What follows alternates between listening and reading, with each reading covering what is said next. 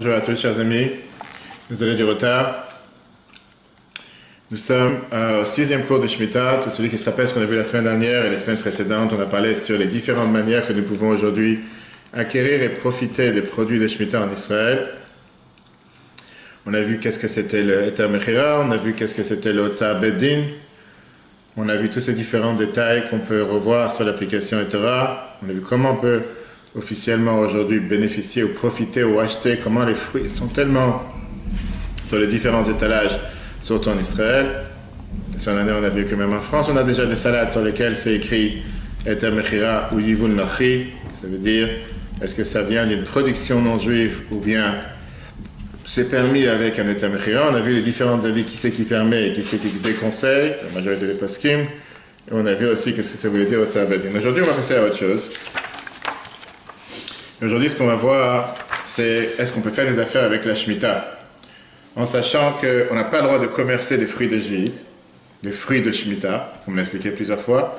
Celui qui commerce des fruits de Shemitah, il transgresse une mitzvah positive. Comme ça, c'est écrit dans la Mishnah, comme ça, c'est écrit dans la Gemara, puisque la Torah, la Gemara Avodazara, page 62a, puisque la Torah, t'a permis seulement d'en manger le Ça veut dire le ochla, velo l'isroa qui veut dire seulement en manger et pas pour en commercer. Et dans ça même, on a un débat entre une Rashi et Tosfot, qui te disent que commercer, c'est quand tu vas commercer avec une grande quantité. Alors que Rambam, Nachmanid, Rajba et Leridba, il te dit que l'interdiction, c'est de vendre des fruits d'une manière que ce que tu reçois en contrepartie, ça sera d'une manière que tu ne pourras pas après les garder avec la Juifs. Sauf que les Chachamim t'ont rajouté en te disant que tu n'as pas le droit de commercer du tout avec les fruits de Shvi, les fruits de Shemitah. Il y a une différence après si l'interdiction c'est une interdiction seulement de Rabbanan ou de Raïtam, on avait déjà expliqué ça dans les premiers cours. Maintenant, même si quelqu'un a vendu des fruits de Shvi, a vendu des fruits de Shemitah avec une interdiction, ils n'ont pas été interdits par la consommation, on pourrait et on doit se comporter avec eux avec l'acte de chat, comme on a vu au départ. En deux mots, on n'a pas le droit de jeter à la poubelle, pas le droit de d'en tirer profit, etc. Si maintenant quelqu'un a vendu des fruits de Shemitah, l'argent qui a été reçu à la place, c'est l'argent qui s'appelle de Mejvid, l'argent de Shemitah. Il est venu ça avec la ducha de Shemitah. En deux mots, la ducha, la sainteté qu'il y avait sur les fruits. Elle est maintenant sur cet argent. On peut acheter avec cet argent seulement du manger ou des boissons. Et pareil, il faudrait se comporter avec cet argent la même ducha qu'on aurait fait avec les fruits de Jvit.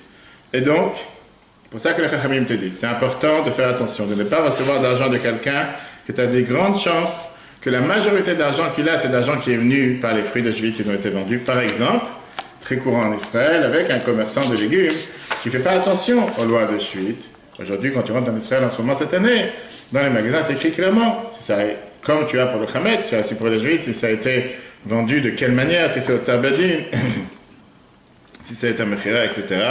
Pourquoi? Parce qu'il y a une gdusha, il y a une sainteté sur cet argent. Et c'est très difficile à faire attention avec tous les lois de Shemitah sur cet argent qui est dans la main de la personne. De l'autre côté, quelqu'un qui voit de la marchandise avec la gdusha de juifs dans des champs, ou dans des, pardon, dans des supermarchés ou dans des étalages non juifs. En Israël, je ne sais pas si ça existe, si tu as des supermarchés qui sont gérés par des non-juifs qui appartiennent à des non-juifs, tu peux l'acheter. Pourtant, c'est des fruits de Shemitah. Tu n'as pas besoin de craindre que l'argent que tu vas donner aux vendeurs non juifs va devenir un argent avec la de Jvit, et donc tu profanes l'argent de Gdusha. Pourquoi? Parce que. Même si c'est le dernier. Encore une fois, la Gdusha de Shemitah ne tombe pas chez quelqu'un qui n'a pas le devoir de le faire. Donc toi, tu es parti acheter chez cette personne-là, pas besoin de dire Ah, si je donne de l'argent, lui avec quoi il achète? Il achète avec des fruits de. Ne fais pas des calculs que tu n'as pas besoin de faire. C'est un magasin non juif. Okay. Besoin de craindre que le fait que tu lui as donné cet argent, automatiquement, ça devient un argent qui est à la de juif, puisque ça ne devient pas, ça appartient à un non-juif. Pourquoi tu dis que ça devient avec la gucha d'un juif? Ça, c'est pas d'après tous les avis. Certains avis, le Rabbi Shimon Silov, lui, te dit clairement que oui, il y a une interdiction. Pareil, tiens, les chalots, le riz de base. Mais le Chazandi, je te dis que non, qu'il n'y a pas la gucha de juif dans l'argent qui tombe chez un non-juif. Et comme ça, différents avis. Concrètement, est-ce que j'ai le droit d'acheter des fruits et des légumes chez quelqu'un que je ne suis pas sûr? J'ai un doute. Est-ce qu'il connaît les lois des juifs? Est-ce qu'il les respecte? Est-ce qu'il fait attention par un ambitieux d'un juif? La te dit qu'il ne faut pas acheter des fruits de ta marchandise de quelqu'un que tu as une crainte qui vend des fruits de juif. Tu n'es pas clair, tu pas sûr, est-ce qu'il vend des fruits de Shemitah ou pas Pourquoi? Tout ça parce que je crains que l'argent que je vais lui donner, c'est l'argent qui va commercer, qui va venir de l'argent sain. Et automatiquement, cet argent qui va lui, être donné va avoir aussi l'acte de chat de juif. Et ce vendeur ne va pas faire attention à se comporter avec cet argent, avec l'acte de chat de juif, comme il faudrait. À part ça, je suis en train aussi de participer à une interdiction puisque à cause de moi, il continue à commercer avec des fruits de Shemitah, parce qu'il s'est dit voilà, j'ai des fruits de Shemitah, je les vends, j'en ai rien à faire de ce que la Torah a dit qu'on n'a pas le droit cette année de les vendre, et parce que c'est pas seulement pour la consommation, et donc j'achète. Et donc ça fait partie, ça rentre dans les critères de fenêtres hiver, le critère Mirchad. Tu n'as pas le droit de faire, de mettre un embuscade devant un aveugle. Tu n'est pas allé à la chote, on n'est pas en train de critiquer, on n'est pas en train de juger, mais avec quoi tu as le droit de participer à une interdiction. Comme ça, on comprend aussi du Meiri dans la Gemara Souka, page 39b, qui te dit qu'on n'a pas le droit de prendre des fruits de Jvit dans la marette, un ignorant. Pourquoi? De peur que ce soit des fruits de Jvit et qu'à cause de toi, puisque toi, tu es parti les acheter, il va commercer. Venir avec l'argument en disant, mais de toute façon, il a vendu 200 tonnes, c'est pas mes 10 kilos ou mon, kilo de pommes de terre que j'ai pris qui fait la différence. Tu n'as pas à participer à une chose pareille. Euh, la suite, pareil, tu peux pas payer une dette ou payer un salaire pour un employé avec des fruits de Jvit. Pourquoi? Parce que c'est considéré comme si tu commerces avec ces fruits. Ta parole de commerçant, tu dis que la seule chose que la Torah t'a permis d'utiliser, c'est de les manger, pas d'en commercer.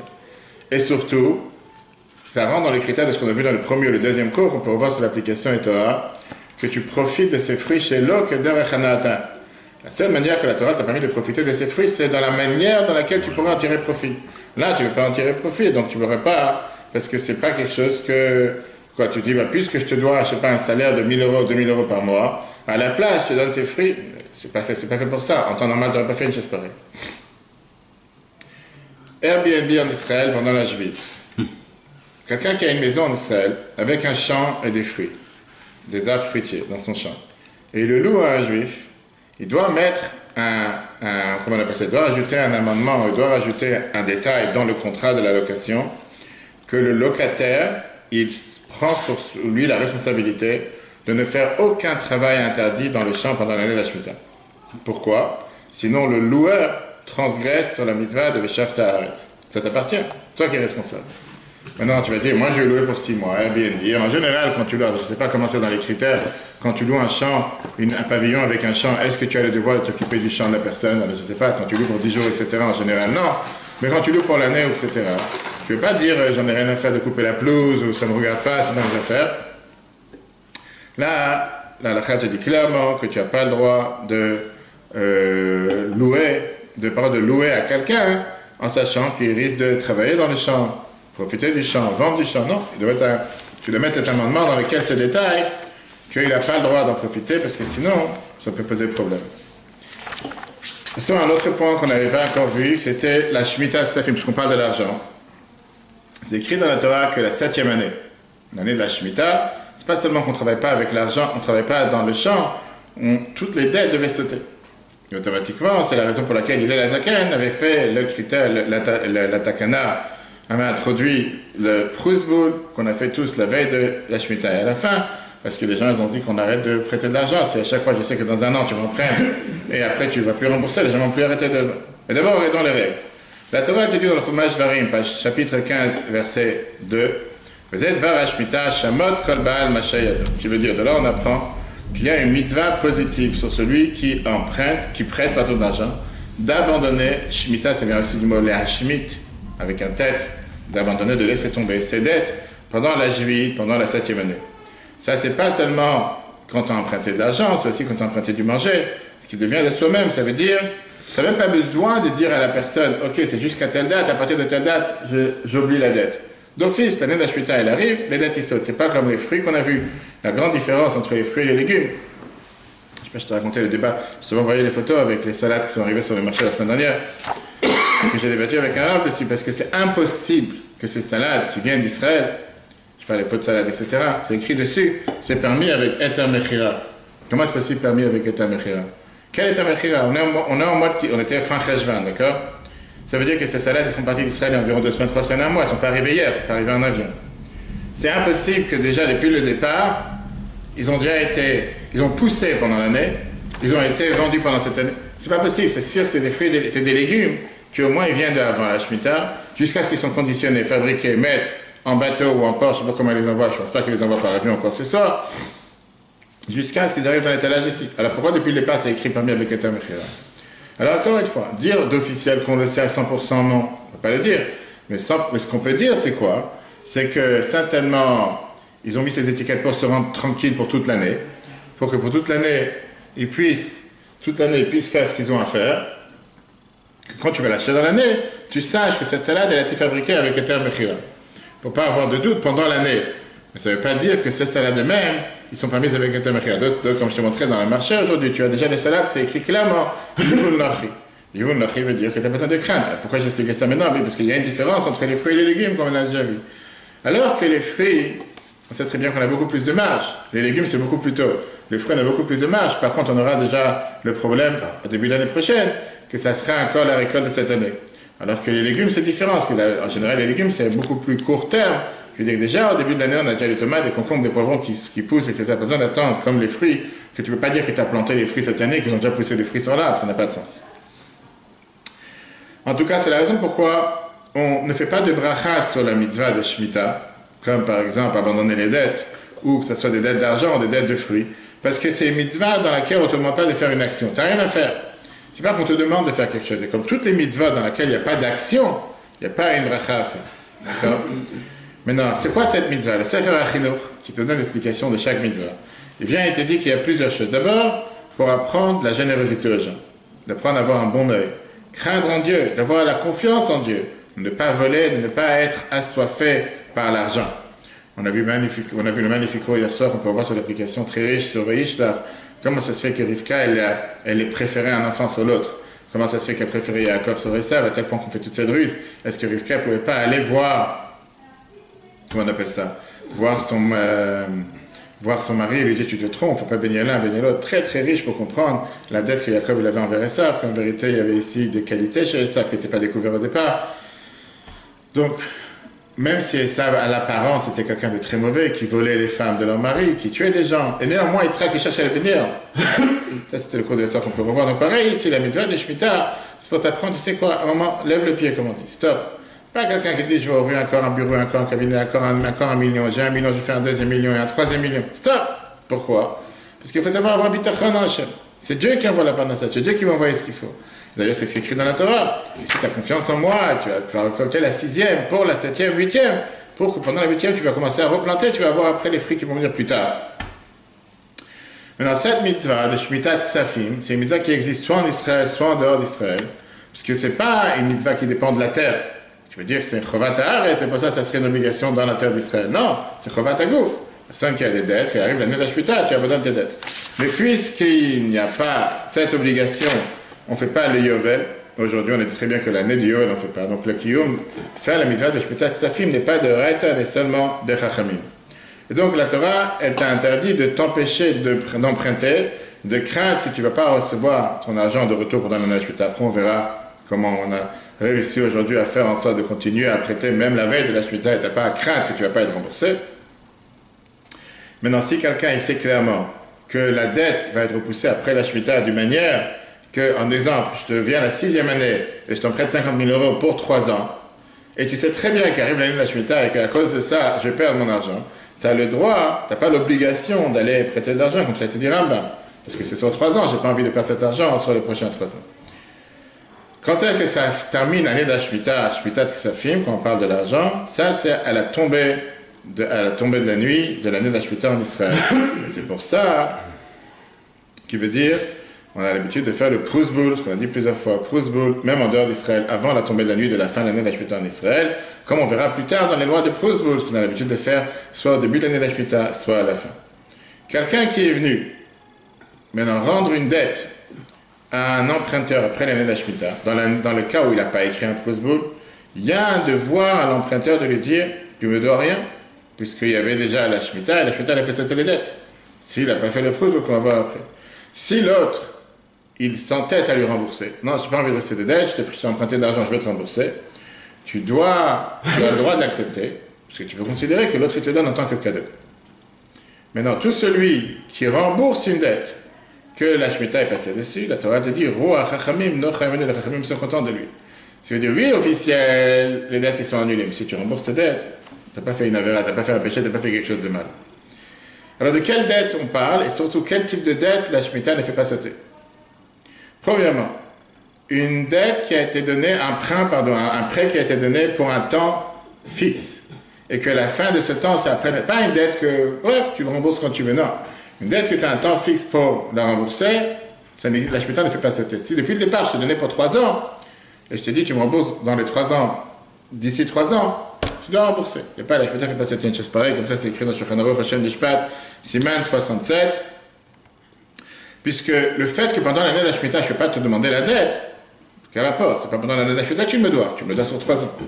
Deuxièmement, un prêt que je t'ai donné en, échange avec un gage, ou bien un part avec des chèques, tu m'as donné des chèques, je ne sais pas si je vais te rembourser les chèques, tu me dis, tu en as prêt à la place. Ça, ça fait pas sauter. Acheter à crédit dans les marchés, dans les supermarchés. Comme c'est très courant en Israël, que tu rentres dans un supermarché et tu ne demandes pas à payer. Des fois, je rentre dans les supermarchés, je suis tellement étonné que personne paye. Chacun il demande ton numéro de téléphone. En Amérique aussi, ton numéro de téléphone, ton numéro de compte, et mettre sur le compte, sur le compte, sur le compte. Et les gens, ils payent des fois une fois par mois à la totale, ou les enfants, ils peuvent aller au supermarché prendre. Et comme ça, ils payent une fois par mois, ils ne payent pas deux mois, ou deux fois, une fois que la note elle est trop grande, ils te demandent de payer. Donc quand tu achètes à crédit dans un, un, un magasin, la ne fait pas sauter, ça n'existe pas, tu fait sauter puisque tu as eu un crédit depuis un mois, deux mois et tu pas payé. Pour, pourquoi Bien, le Shulchan te dit parce que c'est l'habitude du commerçant de te donner un crédit et de ne pas demander l'argent tout de suite. Et donc, c'est comme une dette qui te donne pour après la Shemitah, qui te donne pour plusieurs temps, etc. Une paye à un employé que tu dois, que tu n'as pas payé, vient le Rambam te dit, c'est pas un prêt, c'est pas quelque chose que la Shemitah fait sauter, je te dois trois mois de salaire. Je n'ai pas payé trois mois de salaire, la Shemitah te fait sauter, ça ne fait pas sauter. Pareil, une boîte de tzaka ou un gmar, peut-être d'argent un gmar, une boîte de tzaka, tu n'as pas le droit de dire, ben non, j'ai emprunté à la Tzaka, j'ai emprunté au Gmach, ou j'ai emprunté à telle organisation. La Shmita, ça fait pas sauter non plus.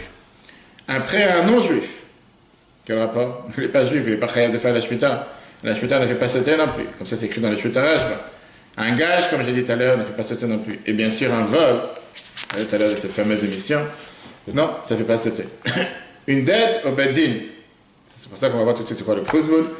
Une dette à un tribunal, comme on a vu avec le Tsar Bedin pour les fruits de la Shmita, ça ne fait pas sauter non plus. Et certains disent qu'une dette qui a été faite en dehors d'Israël ne fait pas sauter. Même si on a dit que Shmitat Safim n'a pas à voir avec la terre, néanmoins on te dit aussi que ça ne fait pas sauter. Maintenant, un juif qui a prêté à un non-juif, ou un non-juif qui a prêté à un juif, et après s'est converti. Mais avant qu'il a remboursé la dette, est arrivé la Shemitah. La dette ne saute pas. Pourquoi? Parce qu'au moment où il a prêté, au moment début de la dette. Il n'y avait pas de Shemitah parce qu'il n'était pas juif. Et donc à la fin non plus, il n'y a pas de Shemitah. C'est à peu près les mêmes idées qu'on a dans les Mouktsé Shabbat. On te dit que quand quelque chose était Mouktsé à l'entrée de Shabbat, ça ne devient pas plus Mouktsé au milieu de Shabbat et vice-versa. Ça, c'est par rapport à ce qu'on a dit euh, Shemitah Tsafim. Voyons, j'espère qu'on a le temps de voir, on pas le temps de tout voir. Alors, c'est quoi le Prusbul D'où est venue cette idée de Prusbul et concrètement aujourd'hui, est-ce que les dettes y sautent ou pas? La réponse, elle est à l'époque de Hillel Azaken, Hillel l'ancien. Et là, il a vu que les gens ont arrêté de prêter de l'argent l'un à l'autre parce qu'ils se sont dit, de toute façon, tu vas pas me payer. Arrive la Shemitah, tu vas faire sauter. Et donc, est devenu comme une interdiction. Que d'un côté, les riches, ils transgressaient sur l'interdiction, comme on vient de voir, qu'on n'a pas le droit de s'empêcher de faire des prêts. De l'autre côté, les pauvres n'avaient pas de qui emprunter. Et donc, il est la Zaken, il a fait ce qu'on appelle la Takana du Shtar de Prousboul, c'est écrit dans la Gemara chapitre 10. Prousboul, c'est un mot qui veut rien dire. En hébreu, ça n'existe pas dans le dictionnaire. C'est un mélange de trois mots. Prous, bouli, bouti. On a un mec qui veut dire prous, takana, une règle, une loi, bouli, les riches, bouti, les pauvres. L'explication, une takana, c'est une règle, une loi qu'il a fait entre les riches et les pauvres, afin que les pauvres puissent emprunter aux riches et que les riches ne soient pas endommagés du fait qu'ils ont prêté aux pauvres avec avec euh, le prêt et avec l'année d'Ashmita. Quelle était l'idée? Comment il a fait cette takana Tu vas dire, à chaque fois qu'on fait une loi, on fait une loi pour détourner la loi. En deux mots, si tu réfléchis, c'est ça que ça a l'air. Tu as la de Shabbat, tu as il n'y a, pas une chose que tu as. Il y a une règle, il y a une règle. On a vu la dernière fois l'idée de Pourquoi la majorité des rabbinim sont contre? C'est quoi le but? Tu es venu en Israël, pourquoi tu es cherché à habiter en Israël pour pouvoir faire les mitzvot qui dépendent en Israël? Et tout d'un coup, tu trouves le moyen de contourner la loi. Alors va habiter ailleurs, viens pas en Israël. En Israël, il y a des règles. Tu veux pas respecter ces règles, fais ce que tu veux ailleurs. C'est quoi l'idée derrière On l'a dit tout à l'heure, Shmitat, fait. La Shmitat de l'argent, de nos jours, c'est quelque chose qui est midera banane. D'abord la base. Et on sait très bien qu'il y a une différence entre l'interdiction de la Torah et l'interdiction des Rachamim. L'interdiction de la Torah, c'est un niveau totalement différent. L'interdiction des Rachamim, c'est déjà moins bon. Pourquoi ça a été fait alors? Pourquoi ça a été mis en place à l'origine? Avant Hillel, chez l'autre, Ishtakar, Torah, mets Israël. Parce que si jamais on l'a fait sauter, après tu as des halakhot comme ça qui s'en vont, qu'on n'en parle plus, qu'on ne discute plus, etc. Et donc, dans la manière, dans le moyen, dans la situation dans laquelle je peux trouver un moyen de permettre le fait de pouvoir bénéficier de Shmitat Sefir, en deux mots, de ne pas, de pas faire sauter les dettes d'argent pendant la Shmita, d'un côté c'est une protection pour ceux qui d'utiliser encore une fois cette misère pour le mal. On a dit, tu sais quoi, ben, la veille de Shmita, je t'appelle pas 50 000 euros, demain je te rembourse plus parce que c'est la Shmita. Tu auras toujours des gens qui veulent abuser de la loi, trouver la faille dans le système, comme cette fameuse émission. Et donc, pour ça, il a dit non, il n'y a pas, il a pas de chokhmot. ne sois pas plus intelligent que la règle. ne commence pas à jouer avec euh, la Torah quand ça t'arrange. Ah, la veille de la vais en prêter 50 000 euros, demain j'ai rien à rembourser, je fais la vie et la vie est belle. Non, il y a un Prousboul qui est en place. Alors c'est quoi l'idée? Comment ça fonctionne? L'idée est très simple. Le malve est celui qui emprunte, celui qui prête, pardon. Il donne la dette qu'il a, en il transmet la dette que le prêteur lui doit, que ce soit avec shtar, ce qui est l'idée à la fin d'après la je dis à tout le monde, combien d'ennuis on peut, on peut s'enlever quand on prête de l'argent qui que ce soit, même si c'est à son frère, son beau-frère, avec un contrat écrit par en oral, trop de soucis se passent avec des gens qui sont malheureusement après tellement de mauvaise foi, je t'ai jamais emprunté, tu m'as jamais rien donné, tellement d'histoires alors qu'ils auraient pu éviter, il n'y a pas de témoin, il n'y a pas d'écrit, il n'y a rien, c'était en oral, c'était une enveloppe, c'était une mallette, va savoir, ou une valise. Ou bien, si c'était en oral, transmet sa dette au Bedin. Comme on a vu l'histoire des fruits, que c'est plus mes fruits qui m'appartiennent, que le tribunal qui vient qui vient, qui s'en charge pour les ramasser des étalages, etc. Et donc, à partir de maintenant que j'ai transmis ma dette au Bedin, l'emprunteur ne me doit plus à moi, Reuven Shimon Devi, mais il doit au tribunal.